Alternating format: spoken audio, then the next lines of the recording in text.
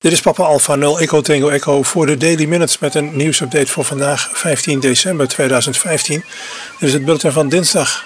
Belangrijke wijziging vandaag is de data die we meesturen. De nieuwe instellingen zijn Olivia, dus niet meer Contestia, maar Olivia. Voor de zekerheid is het het beste om die uh, customized CQ aangepast, uh, om ze daarin te stellen. Dus in het menu gaan naar customized of aangepast.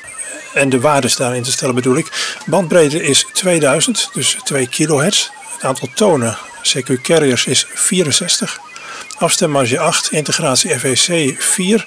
Het vinkje FEC blokken wissen, dat moet uitgeschakeld zijn.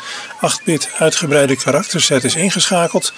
XML start-stoptonen zijn ook ingeschakeld. Centrale frequentie is 1750 Hz, denk maar aan het pieptoontje 1750 Hz. Dus van boven naar beneden in het uh, venstertje.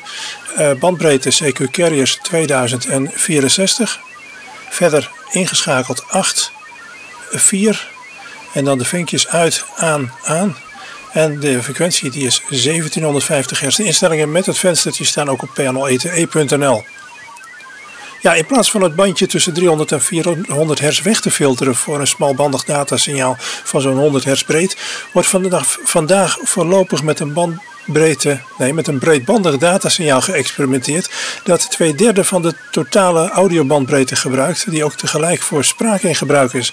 De data zit dus door de spraak heen en niet meer eronder. Door in te leveren op snelheid kan ook worden gewonnen op robuustheid van het signaal. Inleveren van de snelheid kan ook gemakkelijk bij een signaal dat met 2 kHz breed bijna 20 maal zoveel data kan versturen als de eerdere 100 Hz brede signalen.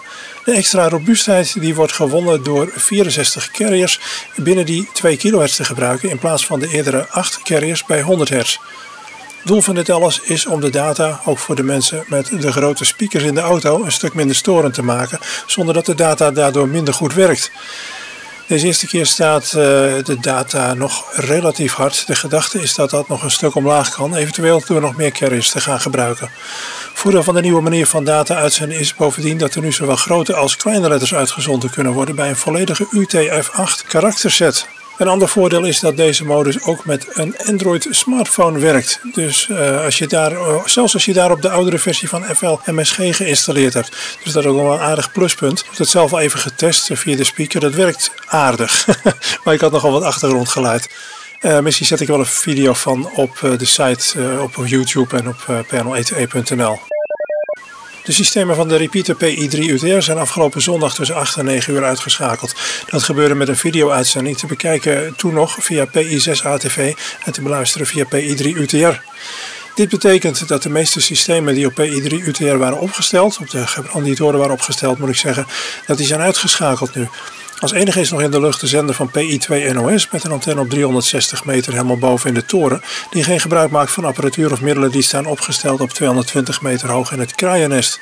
Wel zijn de ontvangers van PI3 UTR en PI610, die, maar alleen die in IJssel staan, nu ook uitgeschakeld. Maar de rest van, het, uh, van de repeatersystemen is nog gewoon operationeel. Alleen dus PI3 UTR en ja, al de zaken zoals PI6 ATV, die staan DMR, die op die toren stonden opgesteld. En de uh, WebSDR. Uh, die, uh, die zijn momenteel eruit. De situatie is overigens tijdelijk. We hebben er al veelvuldig over gecommuniceerd, maar vanwege verscherpte regels mag er geen apparatuur die stroom gebruikt meer opgesteld staan in het kraaiennest. Het kraaiennest is ooit gemaakt om straalverbindingen te faciliteren, maar ja, straalverbindingen die uh, zijn een beetje van het verleden. Het gaat helemaal allemaal via de satelliet. Het kan enige tijd duren voordat de apparatuur weer werkzaam is. En een ander hangt behalve de altijd geweldige inzet van het team rond de repeaters ook af van de beschikbare middelen. Met name bepaalde dure coaxkabels met connectoren. En van de financiële middelen, daar hangt het ook vanaf. Schroom niet om aan de repeaters te doneren. De huur van de ruimtes is duurder geworden. Voor sommige dingen moest eerder helemaal niet betaald worden. En ook het gebruik van stroom. En dan moeten er dus nog nieuwe spullen komen. Gelukkig zijn er al materialen als bijvoorbeeld de 19 inch kasten door amateurs gedoneerd, maar er is nog veel nodig. Volgens obiscoop.nl bedragen de operationele kosten van alleen de locatie toren al zo'n 2700 euro per jaar.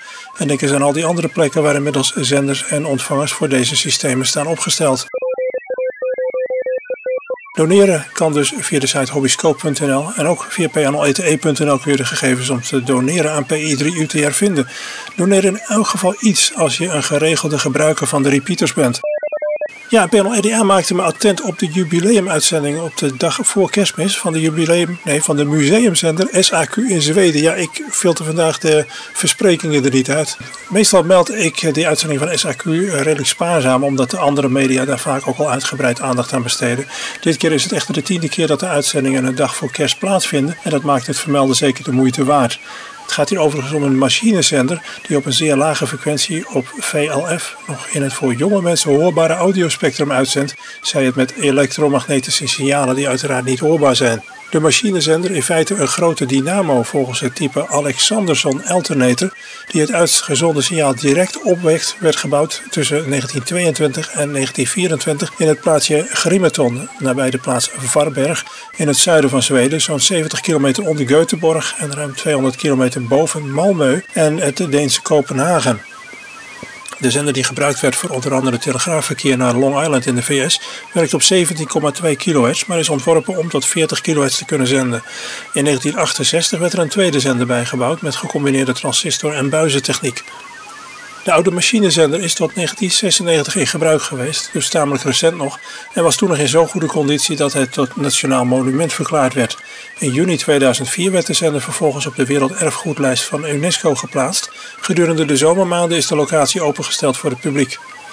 Om 8 uur UTC op 24 december zal op de frequentie 17,2 kHz een boodschap worden uitgezonden. En een ander wordt begeleid door een amateurstation met de roepnaam SK6SAQ. En er is ook een website en dat is www.alexander.n.se www.alexander.november.sierra Echo tot slot nog even een dienstmededeling. Doordat PI3UTR nu tijdelijk uit de lucht is, kan de wekelijkse uitzending van PA00 Nieuws tijdelijk ook niet in de ether plaatsvinden. De uitzendingen gaan echter op het gebruikelijke tijdstip op vrijdagavond gewoon door, zij het via het internetradiostation Shorties FM. Het radiostation dat tegenwoordig geheel draait op één Raspberry Pi B2.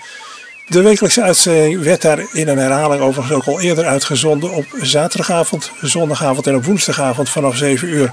Na afloop van die uitzending op Shorties FM aanstaande vrijdagavond half 11 kan het curso dat normaal gesproken op PI3 UTR plaatsvindt nu op PI2 NOS gebeuren als de repeater vrij is.